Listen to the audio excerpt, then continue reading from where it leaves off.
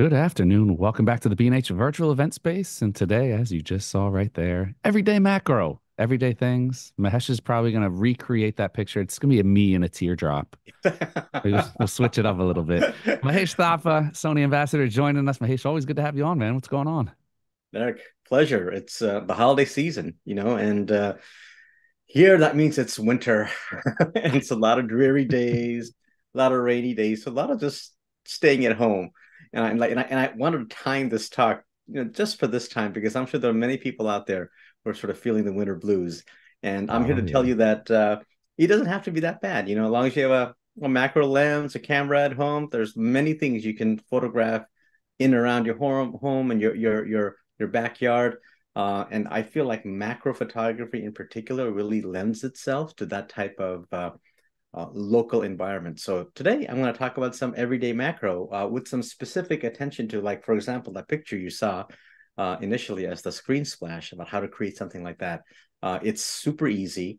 Uh, and the once you see it, you're like, ah, why didn't I think of that kind of thing? Okay. so awesome. Let's, yeah. Let's do it. well, well if I disappear, I'm over there taking pictures of Christmas tree ornaments. All right. I'll see you in a bit for some Q&A, Mahesh. All right, brother. Okay.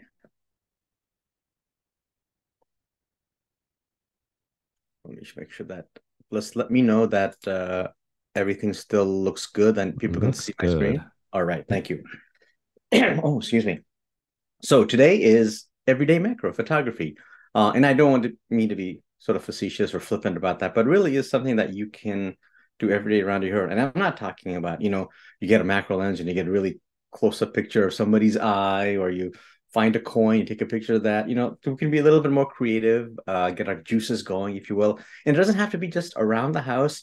Uh, uh, you know, you could have this stuff with you as you're just you know walking the beach on a on a wintry day, stormy scene, morning. You can apply it to uh, other aspects of your activity, your daily activities. But uh, something that's quick, fun, easy, and I think that you love to do. So let's get started. I, I I gave a link uh, to Danny. I think he'll put this on the chat. But I have a little article that I published uh, a couple of years ago, uh, and uh, it's called "What's in My Bag: A Super Simple Kit for Macro Photography." Now you can substitute a lot of this equipment for what I talk about, but I'm gonna uh, talk mainly about as far as the the camera and lenses. It's going to be Sony centric. You know, Sony is sponsoring this, uh, but there are equivalent uh, equipment for other manufacturers, you know, uh, that you can apply. Uh, but the accessories, I think, are really cool. That's what's really going to drive the point home uh, that you could think about getting, uh, particularly for tricky situations where you need things in certain positions all the time and you don't have five different assistants or multiple hands. so these are a little quick tips and tricks to, to help you out. Uh, let's talk about the two cameras that I use all the time for my macro photography. It all depends on uh, what I'm shooting, how much uh, room I need, basically between the subject and myself.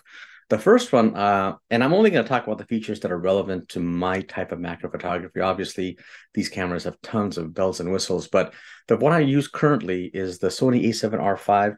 Um, it's got a high megapixel count, and that actually uh, matters a little bit because oftentimes uh, you want to get bigger than life size macro. So if your macro lens is one by one and you get a full frame image, you can crop down uh, to even smaller amount and still have a lot of me- megapixels left over to do a one to two macro or one to one to one, 1.5 macro. So you can compensate for the fact that you don't uh, have uh, um, uh, maybe the, the, the the true macro lens or or you need to get even closer, even bigger uh, blow up uh, by getting a camera that has a little bit more megapixels. In addition, particularly for static subjects, and this is one of the most one of the best features I think the A7R5 has uh, is this a pixel shift multi-shooting mode where it combines between 4 and 16 shots depending on how you want to do it to come up with a whopping 240 241 megapixel image. Now you have an amazing amount of croppability if you will and detail.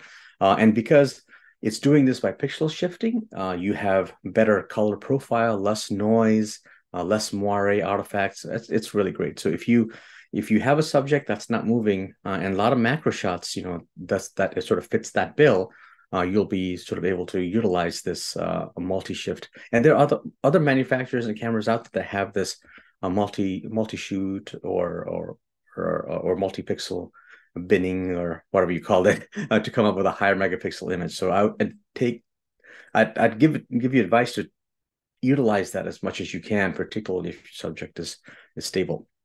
And finally, uh, it has this camera and other cameras where it has focus bracketing. So if you want that really high depth of field, which is difficult to do on a single shot with a macro lens, just because you're so close to the subject matter, uh, you could utilize focus bracketing. And this has one of the, the better implementations, I think, of focus bracketing.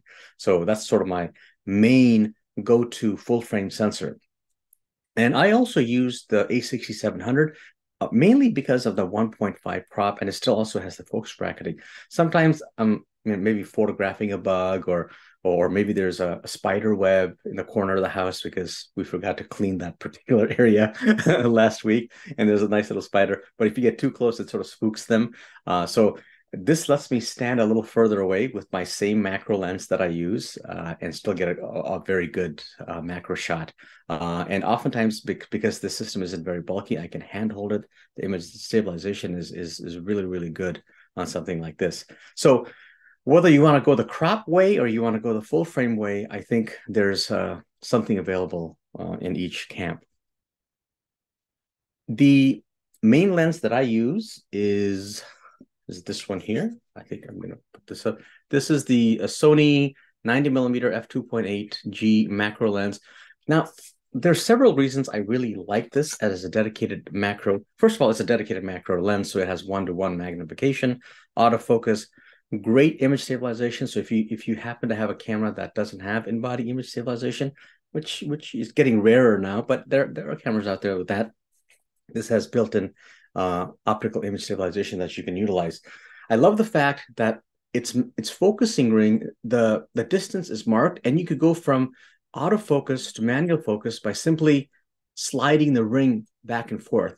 I can't tell you how nice that is when I'm looking through the viewfinder, got the position exactly where I want it, and I don't want to be in autofocus anymore. I just I just slide the uh, the ring back, and I'm manual focus. I don't have to worry about any uh, misregistration when I'm doing any kind of a bracketing uh, shot or combining multiple exposures. That's really really good for uh, good for that. It also has now sometimes some older image stabilization systems and cameras, uh, when you're on a tripod, it doesn't play nice. Uh, so sometimes uh, when you when you're on a tripod, you actually have to turn the image stabilization off. Some of the newer cameras, uh, they, it recognizes when you're on a tripod, but it actually has the option just on the barrel to turn image stabilization on or off. Uh, which which is I find very very frequently uh, I use some some of the older cameras, some of the more manual focus cameras, uh, and uh, it has a little uh, customizable button. Uh, I you can press that. Typically, I I use this for uh, quickly go from autofocus to manual focus without actually having to use the ring. If I'm hand holding something, that's really convenient for that. So this is my go-to uh, lens. It's it's 90 millimeters, so you still have quite a bit of distance between you and your subject. And if you want even more distance, you can put this on a 1.5 crop body, uh, and you could really stand back because now it becomes a 135 millimeter macro lens. So that's my go-to lens. One thing I really want to point out, uh, you know, which is a little different than some other macro lenses, is the aperture blade. The aperture blade on this particular uh, lens is circular. So I'm sure that. So when the when the when the blades line up, it creates a nice circle image. So this really comes into play when you have autofocus areas. Uh, what most lenses have this sort of uh, conventional uh, flat plates that create the aperture uh, as it comes down, but it doesn't have a nice round uh, appearance. So the bokeh, particularly if you have pinpoint lights or bright lights or even other autofocus areas that are a little bit brighter than some of the surroundings, it doesn't render it as nicely as this very round uh, autofocus areas because of these circular aperture blades. So uh, people don't really think about that, uh, and uh, you can already already tell when you're looking at a macro image and you look at the out of focus areas, uh, which is using a, a, blue, a flat blade versus circular blade, and I really prefer the look of these circular blades. And one other thing that people don't realize that, well, you know, polarizer, do you really need a polarizer? I thought that was for landscape photography when you want to, you know, get the sky looking really blue or or get rid of some glare. But this is also important in macro photography, uh, particularly if you're using some external lights. You can you're always going to have glare on surfaces uh, that you're lighting up, or even if even if you don't think there's glare, when you put a polarizer on and you engage it, you realize how much like glare there really is, and this and a polarizer really helps to minimize that and bring out the richness and the colors of your subjects. Uh, so consider using a polarizer, even though you're just doing macro photography. A lot of people sort of uh, don't think about using a polarizer. They go, oh, it's stopping light. I don't want to uh, have low light, but you know, you're on a tripod most of the time, so it really doesn't matter if you have if you have to increase the time that you have the shutter open because you have you have you lose a little bit of light from the polarizer. The benefit you get from the polarizer uh, is I far outweighs the the downsides, if you will, of losing a little bit of light. Uh, okay, so here's a piece of equipment that I use all the time. It's called a platypod, uh, and just the base, just the base is the platypod, but they also sell these little extensions, and they're called gooseneck. I think I think B and H uh, sells these. There are different versions of the uh, of the plat- platypod. I think they have extreme version now. That's great for outdoor stuff. But when I got this many years ago, they had this version called the Ultra. I don't know if if, if that's still still available or not, uh, but I've had this forever, and I like this sometimes when the surface is a little a uh, little more challenging uh, if, to use a tripod, or if I want to get really really low to the ground. So I, I sort of use these, uh, and you can put the camera directly on top of the plate. There's a little screw mount over here, so it's great. It's great to use as goosenecks to to hold little lume cubes or any other light source that you may want to sort of direct on your macro subject. Uh, so so this is one of the equipment that that you may not have heard of, but once you use it, you're like, oh my god, I can't believe I've I've lived all my life without it. So uh, this is what I really like. Uh, and I also use this in conjunction with this particular tripod. Uh, this is the Pixi Evo Mini tripod. There's there are two versions. There's this version and a slightly less expensive version, which is the Mini the first one they came out with. I don't like that one as much because uh, one simple reason. I actually have it here. It has a built-in ball head that actually will allow your your uh, let me see if I can figure this out. It'll allow your your camera to go 90%. There's a little notch here built in the so such a little thing, but it makes a huge difference because sometimes I want to do macro photography in landscape mode, and sometimes I want to do it in uh, in portrait mode. And having that notch right here in the built-in tripod head makes a huge difference.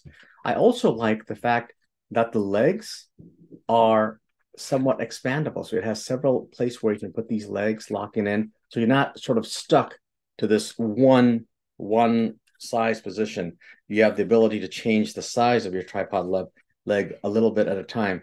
And because it goes out so wide, if you look at this, it's a pretty wide footprint. I'm going to bring it out here. Uh, it's super stable. So, and it's amazingly lightweight. It only weighs about, I think, less than 10 ounces. So, uh, uh, and it holds up to up to five and a half, six pounds of weight. So this, in combination with the platypod, uh, I use a lot. And here's another thing uh, and you may not have heard this, which I also find very, very helpful. In fact, jewelers use this tool uh, quite a bit uh, to hold on to a little piece of equipment uh, so they can uh, so they can work on it easily.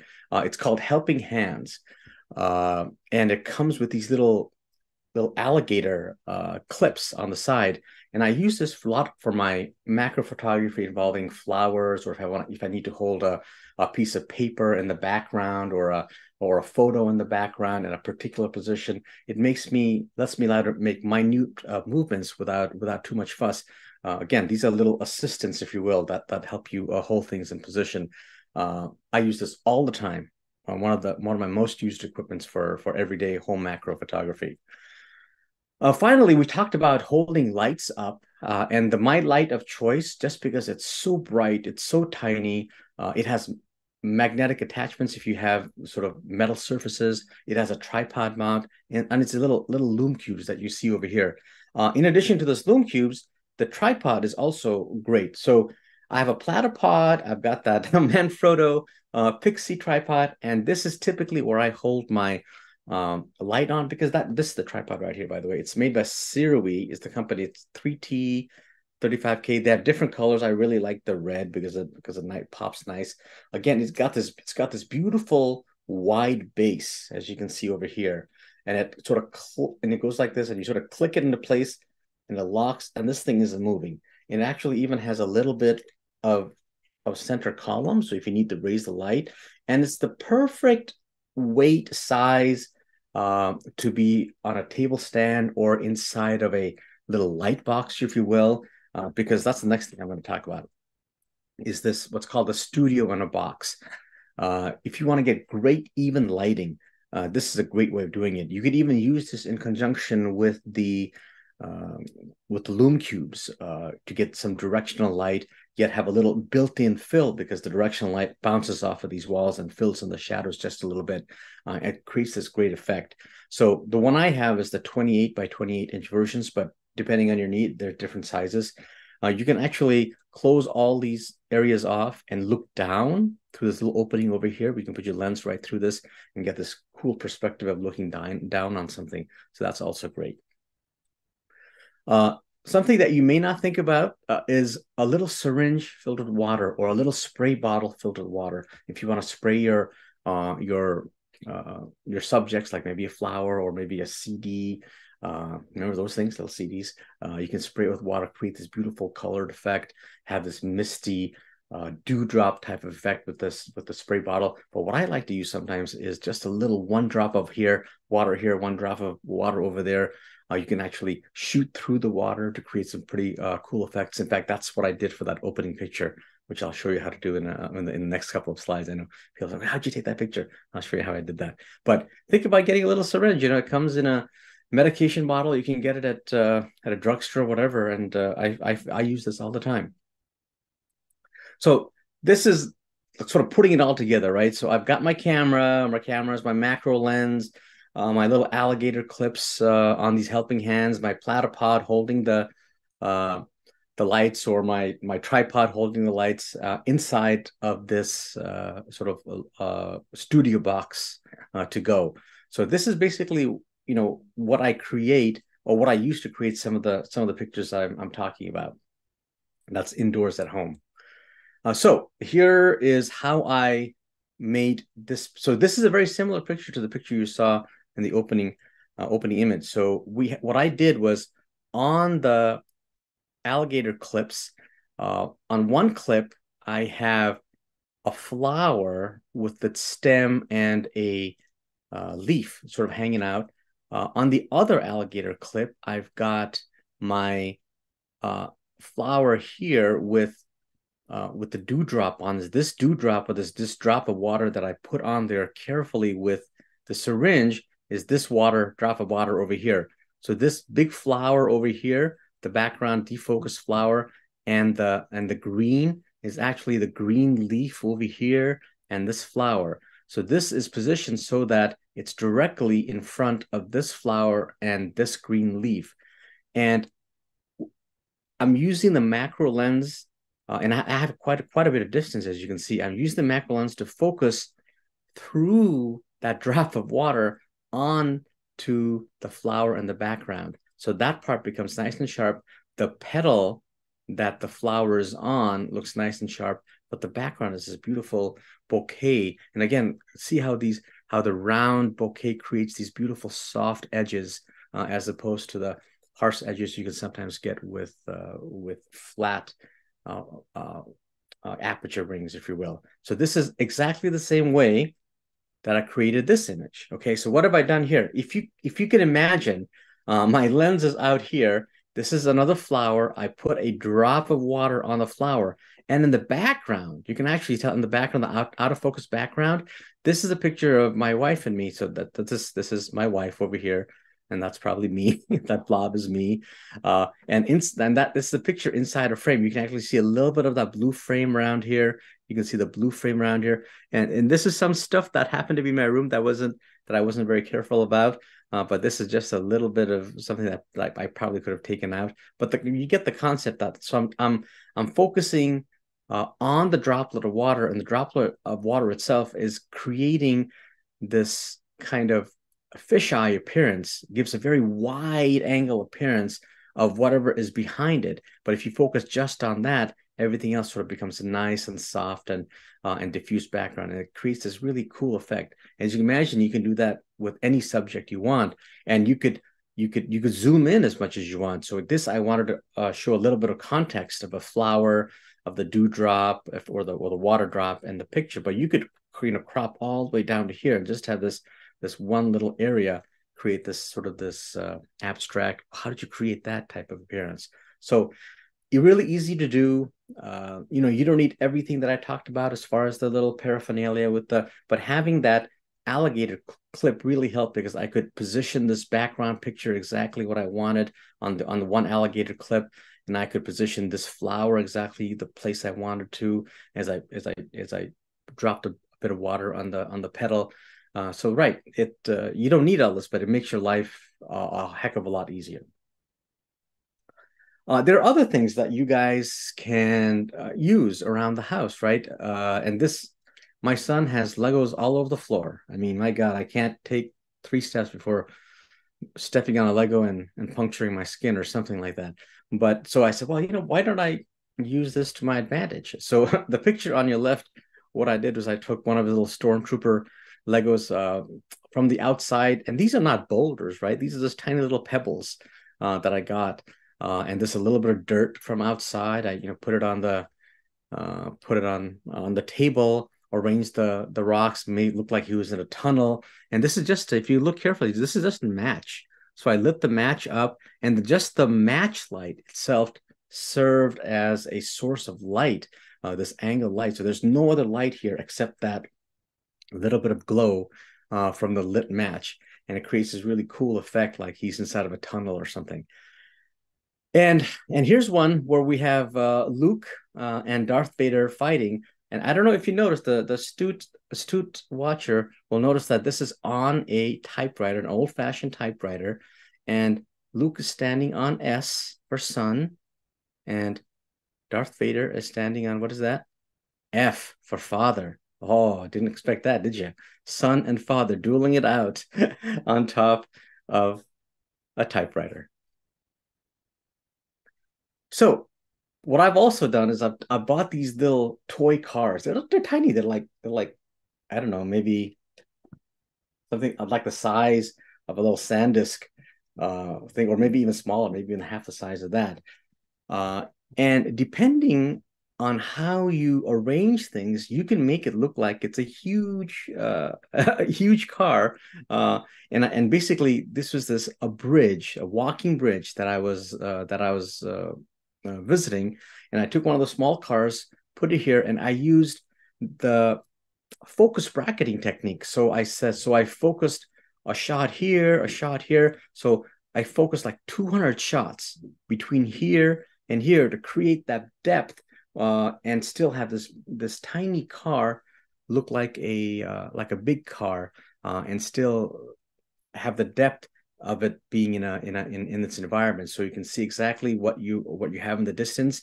Uh, so it's not completely out of focus. In fact it has a lot of a lot of uh, depth if you will. Uh, and because the car is in the foreground and you're using a macro lens it becomes quite big. And the fact that you can see everything shot from here all the way to the here it, it you you have to use focus bracketing you cannot create the shot like this with the macro lens without doing focus bracketing. So you can even see some of the textures of the like the snow on the ground. So it's really cool. It, it takes a little bit of time, but that's half the half the fun is thinking about, oh, you know, I'd love to create a shot like this. How do I go about it? Uh, so basically a tiny car in a nice environment that has these leading lines, great depth, uh, and focus bracketing. So it gives you something like this.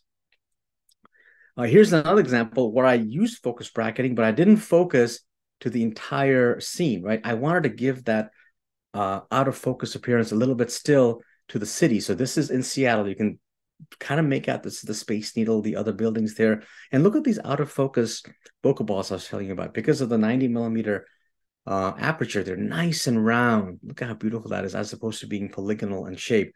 And the focus bracketing here, I just went from this part of the of the car to that part of the car. So maybe maybe just 20 images or so and i and i and i left the out of focus part uh, the way it is because I really wanted the attention uh, on on this uh, on this car. Uh, and the light is actually one of those little uh, lume cube lights I have over the here on the side, uh, just just barely lighting lighting it up, not not its full strength. on the side, giving us a nice angled lighting, and and this was sort of a reflective surface that I that was that was in the area, and you can see some of the building lights here being reflected. So I thought that was a kind of cool effect. Again, at this point, all I had was a little platypod on one side with a little lume cube on top, my little toy car that I that took with me in my pocket, uh, and then just set it up on the on a on a, on a surface, uh, and took uh, focus bracketed images and went home and processed it. So really not not not that much work if you think about it. Here's another one. So I mean, this car, believe it or not, is probably the size, maybe just a little bigger than an SD SD card, right? Uh, again, uh, it looks like it's a it's a pretty big size car, a real Volkswagen Bug that's been stranded in the middle of nowhere on the Rocky Island, or or they have four by four tires and they've gone on this again. This is a, a area of the beach where the the the pebbles or the stones are quite small. They're not they're not huge. They're like maybe maybe this big or so, but because of what the macro lens can do, it creates this great uh, boulder-like appearance to these uh, to these things. And again, the trick here, I could have made this shot where I focused everywhere from the front of the car all the way to the back of the scene, uh, so everything is focused. But I wanted a little bit of mystery on the on the background, so I focused mainly from here to probably about here, and I and I and I and it's slightly defocused here and more defocused in the very very background. Almost gives it like a portrait type of, of appearance, uh, and but you still have an idea of what you're looking at, where you are. You have the environment. So uh, these little toy cars, I think, make great subjects for macro photography. Uh, one more. Uh, here, I have actually this car is also about the same size as this SD card, right? And here I've, I've extensively used maximum amount of depth of field so that everything, the tiny little rock surface from here all the way to the background mountains. These are the Cascades uh, in the back are in complete focus. And it just happened to be that I got some great light that morning. This is a, a sunrise in Seattle in an area called Matthews Beach. Uh, and look at how beautiful that. You can see the, some of the light reflecting on uh, on the on the windshield over here. So yeah, so those are just some ideas for you guys to try out. Of course, you can use anything. It doesn't have to be cars. It can be little minifigures of people. Uh, you can use you know fruits or other things as uh, as background material or subjects themselves. Uh, really, there's no limit to the creativity that you can accomplish if you just think about it a little bit. Um, all right, with that, uh, I know you guys must have a few questions for me uh, about about any other suggestions or or or comments or, or recommendations. Yeah, uh, let's open it up for Q and I. I have a question to start. Yeah. Manual yeah. focus. What's the best way to manually focus? I just started actually using a some legacy glass on my camera and yeah. focus peaking is focus peaking. It's it looks great and it's like it's so confident, it's confidence inspiring and then you're like, well, everything's out of focus. What's the best way to manually focus with accuracy? Right. So I I thought focus peaking was the best thing since sliced bread. The concept when I first heard about it, yeah, uh, and then I actually used it.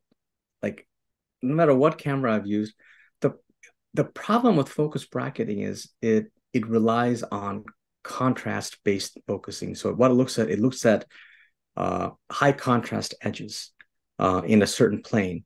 Well, I can tell you from experience that you can have something light up that's high high in contrast between itself and the background or or adjacent structure and not really be in focus all you're outlining is these areas that are different in contrast not necessarily difference in focus so because i'll go and whether you use a different color or different magnitude like you can have low setting and high setting it never quite gets it right so in fact i turn all of that off because i find it super distracting and in fact misleading many of the times yeah uh, yeah it's misleading and then what i do is i just zoom up as much as I can to the area that I want to be complete focus, and I turn every other extraneous information off. And the grid lines are off.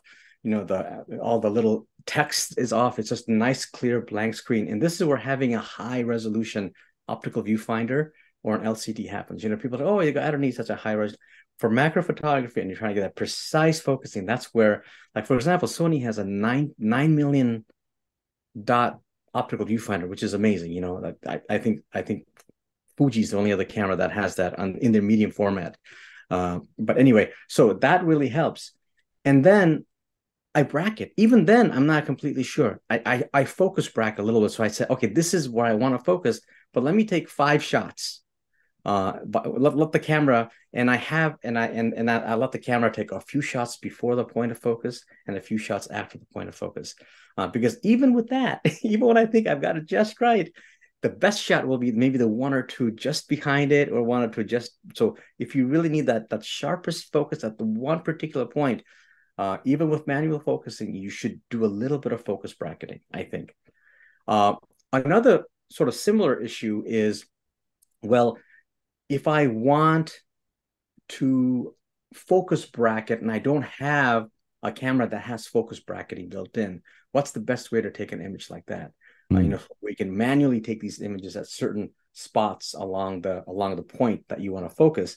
Uh, get a rail that uh, a railing that has uh, demarcations within in millimeters or sub millimeters, and so you point you choose a point of focus and then and then you don't even have to look at the image. You just you just you just turn the little dial and move the railing certain distance towards it or away from the thing and you take pictures every so often. You're guaranteed to take it at certain intervals instead of trying to rely on your own eyes to detect oh i think this is just enough uh, you know use a railing system. Math. It's never wrong yes never wrong. It's more reliable. Sean is asking if we'll post a link to your gear bag blog. I think we'll we'll get that dropped if danny hasn't already. We have a link to that right? To the the your gear bag blog? And you know i uh yeah let me just uh, i think maybe also in the chat i'll try to uh i'll try to here's here's here's i think I, I had it in my clipboard so i just i just put it in. Okay, perfect. Oh there we go. Yeah i think we had it in there. All right yeah we'll get that dropped in there and uh make sure i go in here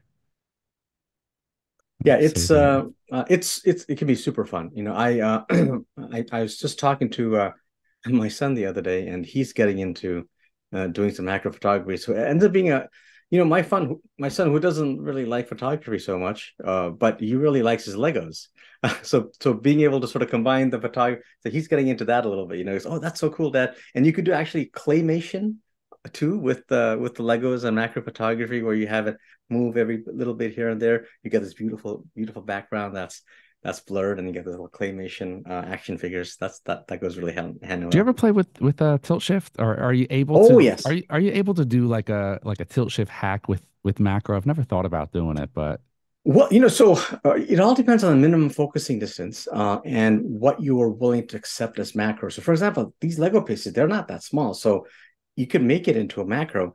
What's what's great about the tilt shift lens is you you change the plane of focus from something flat to something like like like like angled. So for example let's say in landscape photography right?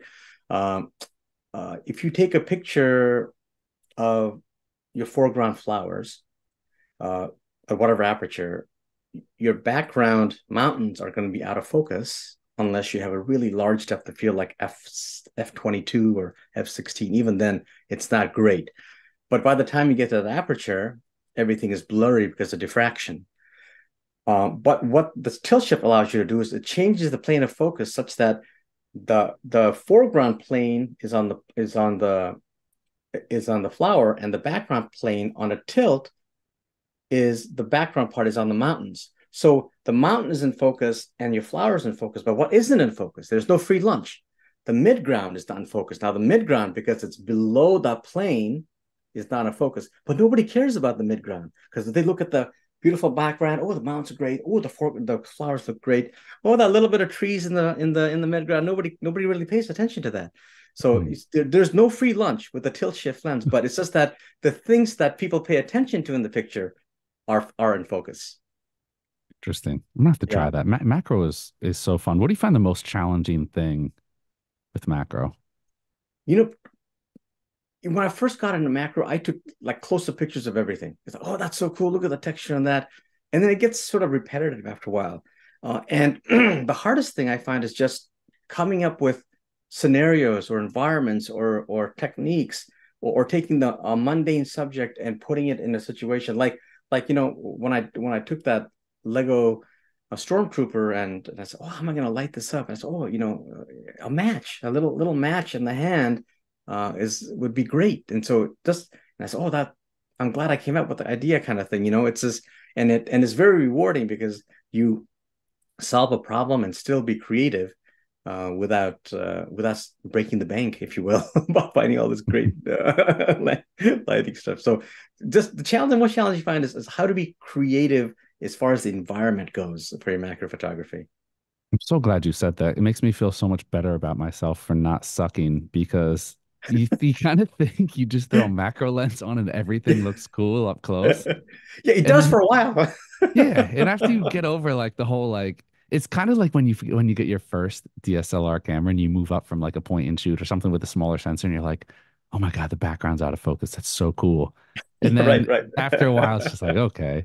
And it's kind of the same thing with macro. And it's like once you get over like everyone takes a picture of like the first thing they can find. It's like, wow, fabric. That's what fabric looks like. And then once you get over it, it really is a challenge trying to find things that are cool. And you see those like those, you know, like the mystery macro pictures where it's like, what is this picture of? And you have to figure out, you yeah. know, it's like this high magnification macro. But yeah, you know it, what I think, and I what I really works as far as macro, I think, is that if you can get a series of very, very close images of of everyday fruits or objects or whatever and make a panel out of it uh, and then mm. and you could actually hang that on the wall and like each each like three on the top three on the bottom i've seen stuff like that like oh what is that you know that that the, all six of them in a row has uh, has an appeal to it that yeah. i think not just a single one of them does yeah and textures focusing on textures is a big yeah, thing exactly. that's like you can take something where you can kind of it's a little bit easier in the sense of you don't have to worry about composition as much. You can just take a full bleed image of just a cool texture, and the fact yeah. of the fact that it's something that zoomed in is just cool. So, and, and you know, I think people uh, get hung up on the fact that macro has to be oh one to one macro or very very close up. You could just get close without getting macro close and still create great macro esque shots. Like yes. one, I saw one picture somebody had. He took a picture of of just the water coming down from a shower uh, and just sort of zoomed up in that, you know, with, and it was amazing. yeah. And yeah. I'm going to get to the next question, but before oh, I do, sure. on that same vein, um, a lot of people don't realize that a macro lens is a really good portrait lens. So yes. if you want a lens that has, you know, for the people that are really into detail and getting yeah. like up close headshots or portraits, a macro lens is, is always great for that. I want to jump to this question. Yeah. Sorry, especially if you find a macro lens against that, that has that round aperture blade, like mm. that works really well also for portraits because now your background is also creamy, buttery smooth, uh, and it's great not tip. polygonal. Yeah. Great tip. Uh, Andy joining us on Vimeo is asking, do you ever use Flash for macro? So I typically don't. I use light. I use a lot of light, but I don't necessarily use flash. Uh, in other words, I don't. I don't have the strobe going off every time I take a picture. If that's what he's asking, but I do use a lot of light because sometimes I've tried flash photography, and for some reason, like if I and I typically I'll do it for uh, one if I try to do it outside, uh, it is it is the light has actually spooked some subjects. Uh, you know, you wouldn't think so, but it actually spooks them in the in the flower. Whether it's the flash going off or it's the sound of the light popping, uh, and then and then it refreshing. That, that I have had that problem.